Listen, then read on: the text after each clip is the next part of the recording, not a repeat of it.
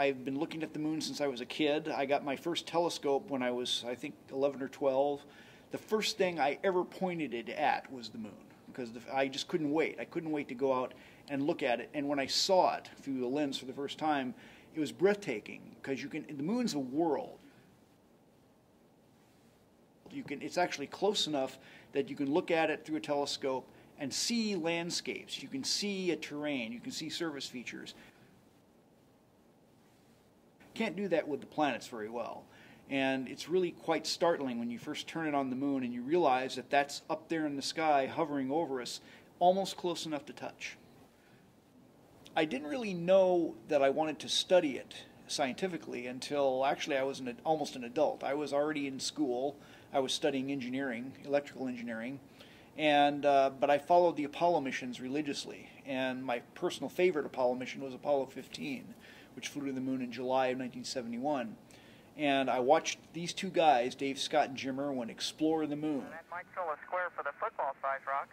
And they were so enthusiastic and so good at it and Sure so much fun to watch that it got me interested in geology. It got me excited about actually going to the moon, not just to visit it, not just to put my footprint down there, but to go and understand it, to collect its rocks, to understand its history, to recover a lost chapter of, uh, of, of, of a previous existence. And that's why I got interested in the moon.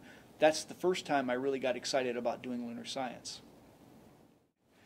Well, the moon's scientifically valuable because it retains a record of what happened very early in the history of the solar system. Uh, the Earth is a very dynamic planet. Uh, volcanoes erupt, the wind blows, water erodes the land landscape, and the surface changes. It changes very rapidly. Now, not rapidly in human terms, but rapidly in geological terms.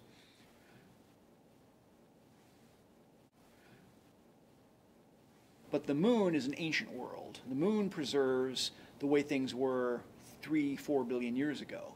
So when we look at the moon, we're looking at a missing chapter of the history of all the planets, a time when giant asteroids collided and threw up tons of material into space, when volcanic lavas resurfaced uh, the planet, when things deformed and buckled under the weight of accumulating piles of lava. All those things happened to the moon. They happened very early in the history of the moon.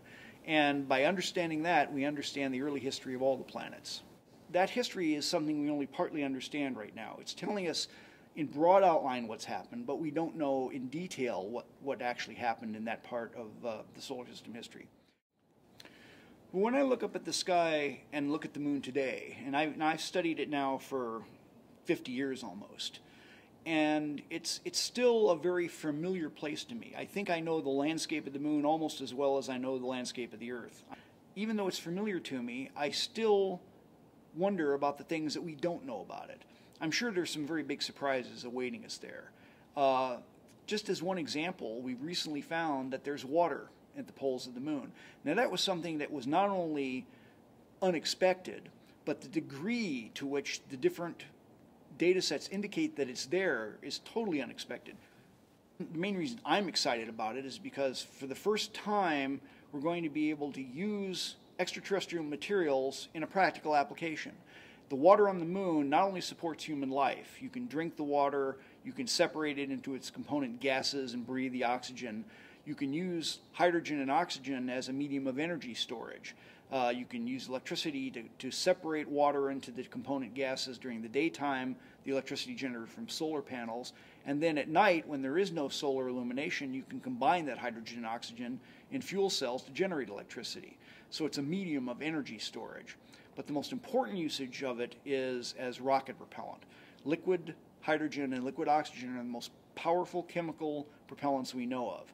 And there is enough water at the poles of the moon I calculated for the North Pole, just in the areas where we see ice in, the, in from the radar data, this is nearly pure ice, there's about 600 million metric tons. That's enough to launch the equivalent of a space shuttle every day from the surface of the moon for 2,200 years. And what that means is that we can use the moon as a logistics depot and create a permanent space transportation infrastructure with the moon as our first railhead in space.